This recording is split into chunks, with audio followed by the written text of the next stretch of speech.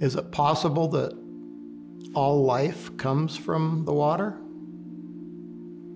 And we still have this attraction to things in the water and we just like to stare at it? I have never even considered living somewhere else. I've never seen a place that's as cool as Hood Canal and the Olympic Peninsula. I don't, I honestly don't think there's any place that's more amazing than here. The mountains, the rivers and all the streams that run into Hood Canal, the wildlife, the beauty. My whole life story is that. I've just been watching. I always noticed what the rivers were like. I always noticed the streams. I always noticed what kind of fish were in them. And I think I learned that from my granddad.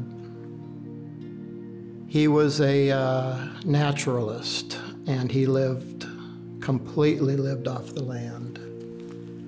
And he uh, hunted and he trapped and he dug up wild native plants and sold them on the side of the road until he was 90 years old.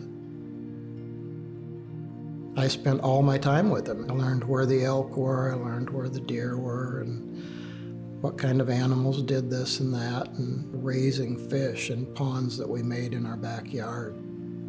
Most of all, I just went fishing in all the creeks. One thing I did notice was the numbers of steelhead juveniles that were in all the rivers that I was fishing all the time. There were hundreds of four to six inch steelhead in every spot you tried to fish when I was a youngster. We would fish off the dock, and I remember catching giant skate, lingcod, cabezon, any kind of fish you can imagine right off the dock in Hoodsport. And they just disappeared in the 80s. They just were gone and that makes me really sad.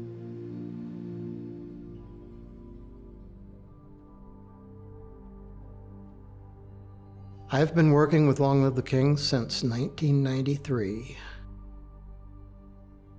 We rear multiple age groups of multiple different species of fish.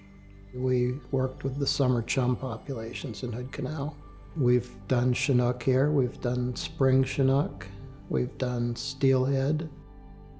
I know how to raise really healthy fish, and I also know what the habitat out here can support. I'm a, a forester, I'm a naturalist, a farmer. Everything that I do is what I grew up doing. It's been just a dream. I mean, it's just flown by so fast, and the stuff that I get to do for Long Live the Kings is just exactly what I think I was born to do. I get lost in my life and other things just like everybody else does, but I get to come here and get reminded every day that there's other things that are more important than a lot of the things humans do.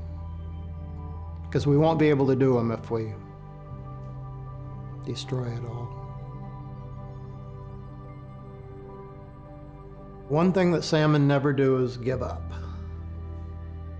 If you want to be persistent and get something done, just become a salmon.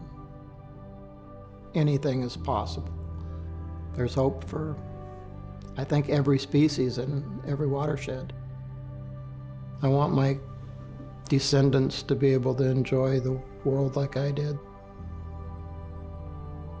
I'm hopeful, hopeful for the future. I think that uh, we sure can't give up yet. I'm not going to give up.